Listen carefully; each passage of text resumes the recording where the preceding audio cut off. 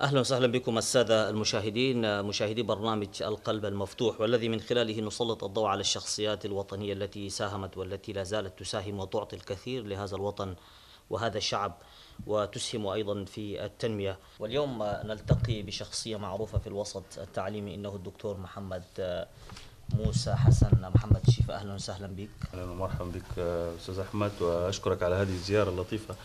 وأشكر طاقم فريق العمل كله. فتح لنا قلبه قبل أن يفتح لنا بابه وندردش معه في هذه الدقائق القليلة من البرنامج. تعريف باختصار دكتور محمد عن سيرتك الذاتية حتى المشاهد يعرف أكثر من هو الدكتور محمد شيفا في الحقيقة طبعا أنا من مواليد أفريل 1975 في المملكة العربية السعودية من أب وأم تشاديين والتحقت بالمدارس السعودية في الفترة الأولى الابتدائية ومن ثم التحقت بمدرسة الصداقة السودانية التشادية في المتوسطة والثانوية ومن ثم التحقت بجامعة إفريقيا العالمية كلية الشريعة تخصص قانون بكالوريوس قانون. ومن ثم بدأت دراسة الماجستير في القانون الإداري في جامعة إفريقيا العالمية أيضا في الخرطوم بالسودان. من ثم كالعادة كأي تشادي توجهت إلى فرنسا لدراسة اللغة. ومن ثم دراسة الماجستير في القانون الدولي. سابقا كانت الدويال دبلوم الدراسات المعمقة. ومن ثم التحقت بالمجر في بودابست لدراسة الدكتوراه في العلوم السياسية والقانون الدولي. هذا باختصار عن السيرة الذاتية ولكن قبلها عملت أيضا في في المجال العملي في هيئة الإغاثة الإسلامية العالمية بجدة وتمرحلت في مراحل كثيرة جدا في في هذه المنظمة الخيرية العالمية التي مقرها في جدة. الحالة الاجتماعية والله الحالة الاجتماعية متزوج وأب لثلاثة أطفال. أنا عريس حقيقة بالزوجة الثانية كما يعني يفعل التشاديين كلهم يعني. والآن أنا يعني في فترة كما يسمى شهر العسل يعني. حقيقة سيرة غنية بالإنجازات ماذا تعني لك الحياة؟ سؤال كبير في الحقيقة. الحياة تعني الإنتاجية باختصار. الإنتاجية هي أن تكون فرد مؤثر في المجتمع. أن تكون لك وجهة نظر آراء طموح. تحقق هذه الطموح أو هذه الطموحات ومن ثم يستفيد منك شخص أو أشخاص. ونحن دائما نحب هذا البلد حقيقة ونكن لهذا البلد كل الاحترام والود ونريد أن نسهم في في في في تطور هذا البلد. لذلك كان كل الحياة لنا هي تشاد. أهلنا في تشاد عشيرتنا وإخواننا من كل الاتجاهات شمالا شرقا غربا جنوبا والنهوض بهذه الأمة. لنرتقي إلى إلى إلى إلى مستويات كلنا نحلم بها حقيقة باختصار. لكل إنسان أنشطة جانبية بجانب المهنة التي تعمل فيها وهي التعليم. ما هي الأنشطة الجانبية التي تقوم بها من تجارة من غيرها؟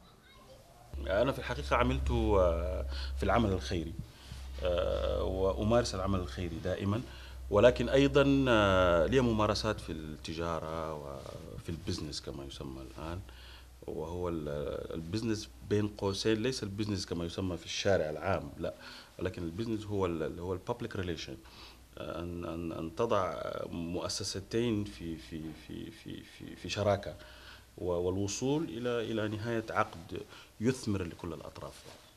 الآن الحالة الاقتصادية العالمية في ركود وحالتنا الاقتصادية الداخلية في ركود ولكن الآن تشهد انتعاش في الفترة القادمة ونتمنى أن نلحق بما فاتنا في الفترات الفاضية الماضية يعني.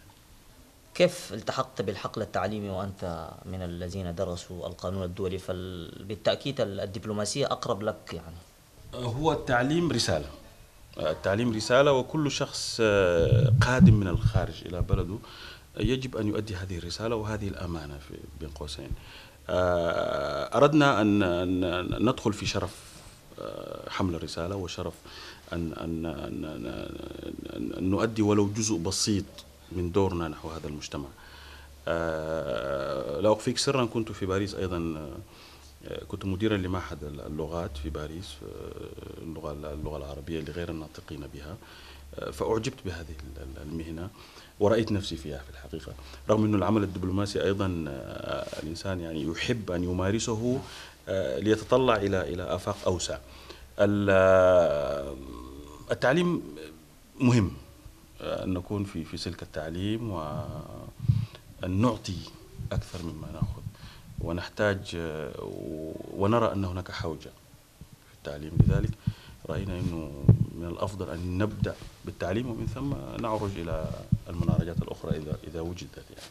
لأنني لا أستطيع تقييم التعليم العالي في خلال عام. أنا أنا حضرت إلى إلى تشاد في 2016 وبدأت أعمل في معهد تدريب القضاء ومن ثم بعض المعاهد. سؤال لا أستطيع ماذا أقول ولا لا, لا أدري ماذا أقول ولكن نحتاج إلى إلى دعم أكثر ونحتاج إلى إلى جهد أكبر لنرتقي بالتعليم العالي لمستويات جيدة. أكبر الإنجازات سميها التي حققتها أو أو بالأصح هل أنت راض عن نفسك حتى الآن؟ أنا راضي عن نفسي جدا آه، راضي عن نفسي لأنني اليوم في 2018 أنا متواجد بين أهلي آه، في تشاد وأقوم ولو بجزء بسيط آه، من الدين الذي علي للوطن قد يكون ليس لا أحد يعرفه ولكن أنا أستمتع بهذا الدور الذي أقوم به سواء الدور الاجتماعي الدور الثقافي الدور الأكاديمي في في هذا البلد.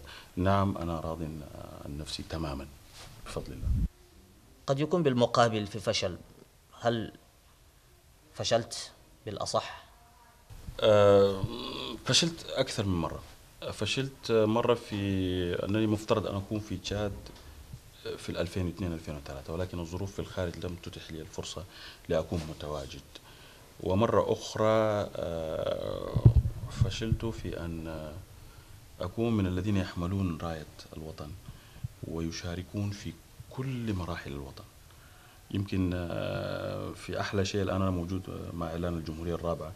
يعني وجدت نفسي اليوم هنا في تشاد وحضرت الفورم الأخير. آه، أنا رجل أحب القانون الدستوري جدا يعني ومتفوق جدا في القانون الدستوري فأستمتع هذه الأيام بالفورم الحاصل وبإعلان الجمهورية الرابعة وانتقال تشاد من مرحلة لمرحلة أخرى قانونيا أنا ما عندي علاقة بالسياسة. آه، أحس بنشوة أحس بأننا آه، نطوي بعض المراحل بكل سلبياتها وإيجابياتها. أنا لست بصدد الآن التقييم ولكن آه، كنت أحلم دائما أن أكون جزءا أو جزء ولو بسيط في كتابة شات وأتمنى أن أدخل هذه الدائرة قريبا إن شاء الله. لكل إنسان ذكريات. ماذا تحمل من ذكريات؟ من الطفولة وحتى الآن. الذكريات الجميلة كلها في تشاد حقيقة. في التسعينات آه، عندما كنا طلابا في مدرسة الصداقة السودانية التشادية مرورا بالأنشطة والاتحادات الطلابية النقابية ومثلنا تشاد في في في مؤتمرات خارجية. آه، العمل النقابي الطلابي كان جميلا جدا وكان يعني في الحقيقة آه، نستمتع به جدا. ومن أجمل الذكريات وزملائنا الآن قادة ووزراء في البلد ويساهمون ويعطون في تنمية البلد ونسأل الله أن يوفقهم ويبارك لهم في جهودهم يعني. أما الذكريات أنا دائما إيجابي ولا أحب أن أكون دائما يعني محبط أو محبط. بالتأكيد الممارسات أو الهوايات هذه مرتبطة بحياتنا اليومية. فهل لك دكتور محمد هوايات تمارسها؟ في الجانب الرياضي أحب كرة التنس. طبعا في جهة التنس أظن. في أحب القراءة أقرأ كثير وأشاهد البرامج السياسية كثير. يعني هذه هي يعني أكثر هواياتي. الرياضية السباحة وكرة القدم وإلى آخره. لكل إنسان طموحات. إلى أين تصل طموحات دكتور محمد؟ أستاذ أحمد هذا سؤال كبير. آه، لكل إنسان مثقف فله طموحات. أطمح لأن أكون في يوم من الأيام من الذين يساعدون في اتخاذ القرار. رسالتك إلى الأمة والشباب. رسالتي للشعب التشادي أولا آه، نسأل الله سبحانه وتعالى أن يديم علينا الأمن والأمان. آه، نعمة الأمن آه، ربنا في القرآن قال وأطعمهم من جوع وآمنهم من خوف. الأمن ثم الأمن ثم الأمن. نسأل الله سبحانه وتعالى أن, أن ننعم بالأمن ولا شيء آخر غير الأمن. نرى حوالينا كل البلدان الأخرى تعاني ما تعاني. نحن نسأل الله سبحانه وتعالى أن يثبت علينا الأمن ده للشعب عامة. أما فيما يخص الشباب آه، الشباب الآن أصبح شبابا فيسبوكيا. آه، الحمد لله أنهم بعيدين عن تويتر لأنه لسه تويتر ما وصلهم. فلذلك أنا أتمنى أن أن يهدأ هذا الشباب. الآن الناس تستخدم الفيسبوك بطريقة سيئة. الشباب ليس هناك توجيه.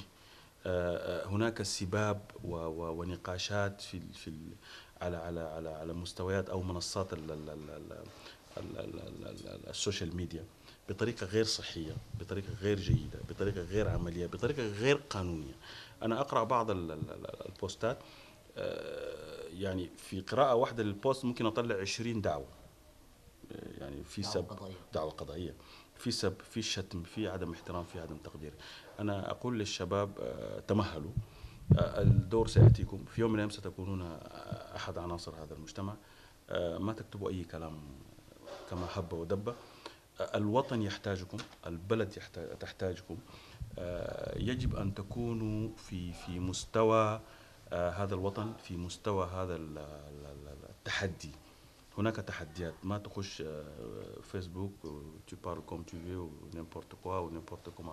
إحنا الآن نتجاوز أو ندخل في مرحلة صعبة جدا ومرحلة حرجة جدا جدا الانتقال إلى إلى إلى جمهورية رابعة دستور جديد برلمان آخر نظام حكم فيدرالي أو غير سميه ما شئت مركزية لا مركز. هذه الأمور يجب أن نتثقف. قبل أن يدخل أحد ويكتب كلام لا يعلم ماذا ماذا يريد أن يوصل يجب أن يعرف عن ماذا يتحدث فيما يتحدث. واحد قاعد في البيت عمره لا يتجاوز 15 20 عام. يناقش رجل سياسي له 30 عام في السياسة. أو أو رجل آخر آه، ولد تخرج من الثانوية وقد يكون أخفق أخفق 10 15 مرة ويستخدم يعني ألفاظ نحن ننأى عن عن عن الكلام فيها في الحقيقة. اهدأوا. آه، وانظروا بنظرة علمية مثقفة قيمة لنتجاوز هذه المرحلة الحرجة. نظرتك وقراءتك لشات المستقبل التي نحلم بها ونريدها؟ أه، نحن نريد تشاد أن تكون عالية نريد أن تكون تشاد في مصاف الدول العالمية نريد أن نكون في يوم من الأيام أه، نحن نحدد ماذا نريد وماذا نفعل وكيف نفعل ذلك. ولكن هذا كله لا يأتي إلا بالتعليم. التعليم الآن أه، لا أتحدث عن جهاز التعليم ولكن أتحدث عن المتعلمين. التسيب يعني المدرسة أو الجامعة أو الثانوية لا تعطيك كل شيء ولكن أنت يجب أن تجتهد.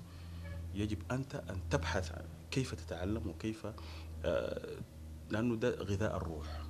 يعني غذاء الروح أنك تكون متعلم تكون مثقف تنظر إلى بلدك نظرة آه، متطورة. آه، بهذا المستوى أنا لا أتوقع أن نكون يعني نحتاج إلى مهنيين نحتاج إلى مخترعين نحتاج إلى مثقفين نحتاج إلى إلى إلى كل المجالات. ونحن الآن لا نكاد نبرح آه، الصفر. السادة المشاهدين وصلنا إلى نهاية هذه الحلقة وهذا اللقاء الشيق الجميل الذي استمتعنا به من خلال لقائنا مع الدكتور محمد موسى حسن محمد شيفا وإن شاء الله نتمنى أن يتجدد لقاءنا مع ضيف آخر وفي حلقة أخرى. وإلى أن نلتقيكم في الأسبوع القادم. دمتم في رعاية الله وحفظه. والسلام عليكم ورحمة الله